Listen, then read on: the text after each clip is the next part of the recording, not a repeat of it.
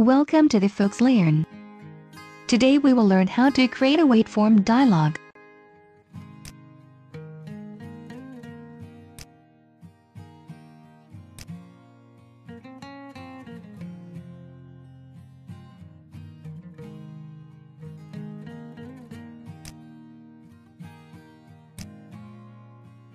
We will design a simple UI that allows you to display a wait form dialog.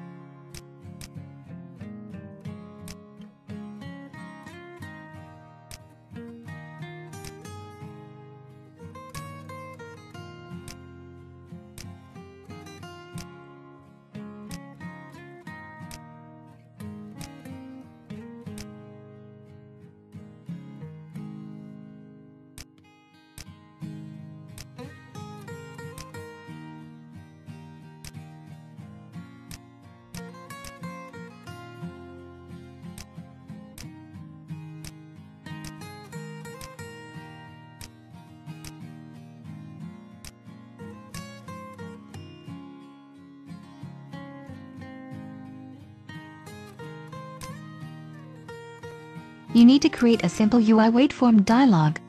This form is used to display every time you handle data.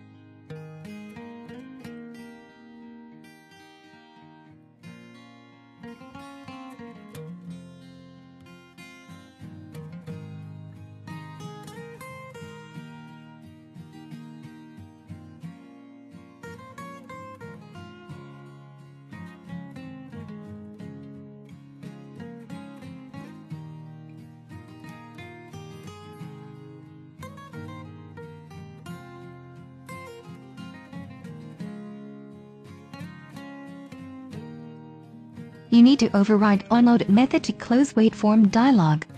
Starting with the .NET Framework 4.5, the task run method is the recommended way to launch a compute-bound task. Use the start new method only when you require fine-grained control for a long-running, compute-bound task.